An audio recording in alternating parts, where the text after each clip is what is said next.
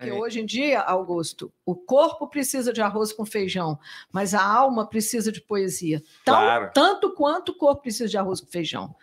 Né? Então... É, diz que a poesia, né, a melhor forma da pessoa aumentar a sua inteligência, né, muitas vezes, é lendo um poema, né?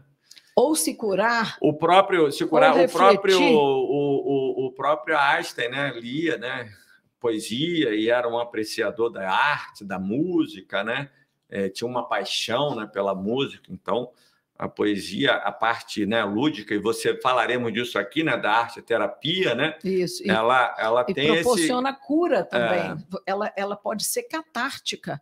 A poesia ela é catártica. Pegando o termo mais do Aristóteles, é, né? Se você tem uma dor profunda, eu digo que a poesia ela pode ser como uma erupção vulcânica. Ela sai o magma de dentro de você, como a dor pode ser expulsa, entendeu? É, essa então, catarse tem, é o, é, o é, principal, né? Exatamente. Efeito da arte, né? Que é você colocar para fora essas emoções, poder trabalhar essas emoções e, com essas emoções mais trabalhadas, ter uma condição de um enfrentamento da vida de uma maneira exatamente, mais saudável, mais, exatamente. mais consciente. Exatamente, exatamente. Né? O mundo está precisando E bem disso. que você falou aí, a, a, a, principal né, função, uma das principais funções da, da arte é exatamente essa do, das, dessa experiência transformadora que só a arte é capaz de dar. Transformadora, é.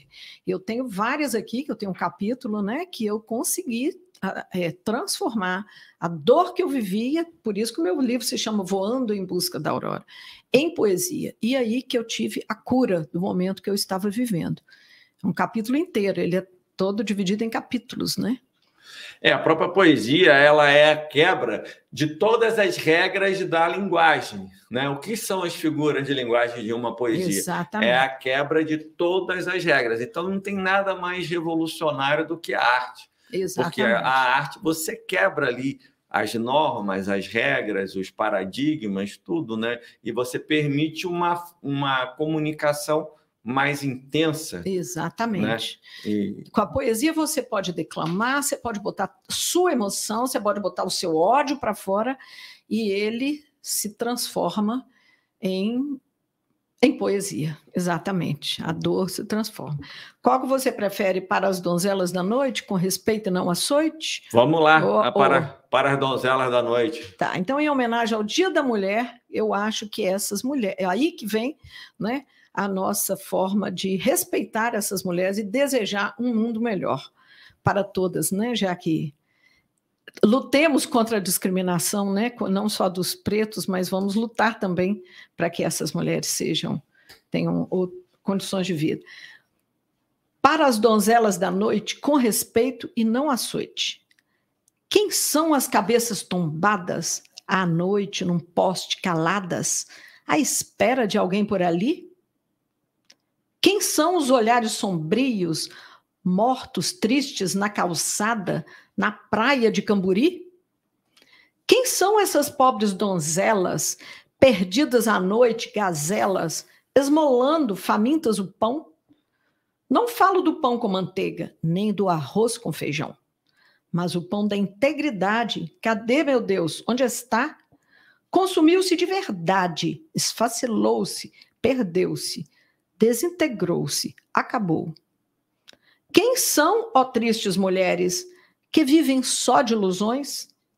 Olhar perdido, alma inerte, à noite, à procura de quem? Estão famintas de alma, famintas de piedade, carinho, amor, liberdade. Seu coração já não tem. Quem são vocês, seres frágeis, frágeis de estima, valor e do poder de sonhar? Como sonham criaturas? Onde estão suas fantasias, seus risos, sua alegria? Cadê sua dignidade que o tempo corroeu? Se altiva a vaidade sozinha prevaleceu? Passo a noite e as vislumbro, tristes, acabrunhadas, mas como numa emboscada tentam em vão disfarçar. Com retoques de pinturas em seus rostos tão sofridos, rostos, corpos corroídos por sua própria amargura. Quisera, meu Deus, quisera eu todas poder arrancar dessa arena, desse palco, onde estão a encenar. Nessa vida tão doída que escolheram muito embora, sem quererem escolher. E o corpo açoitado chora, vindo a alma a fenecer. Dia a dia modelar mais tristeza e amargura. Ó oh, meu Deus, quanta dor, ó oh, vidas cheias de agruras. Dói em meu peito também, quando as vejo noturnas lutando por um vintém. E nada posso fazer, só passar, olhar e sofrer. Quisera, meu Deus, quisera, eu todas poder arrancar da praia de Camburi e a ti poder levar. Levar até elas o sonho, o sonho, o poder de lutar. Lutar com força e com garra, ideais de vida almejar cravar em seu peito a coragem, o amor, a dignidade, para poderem levantar seu braço com tenacidade e assim tua face alcançar. Maravilha! Gostou? Gostei.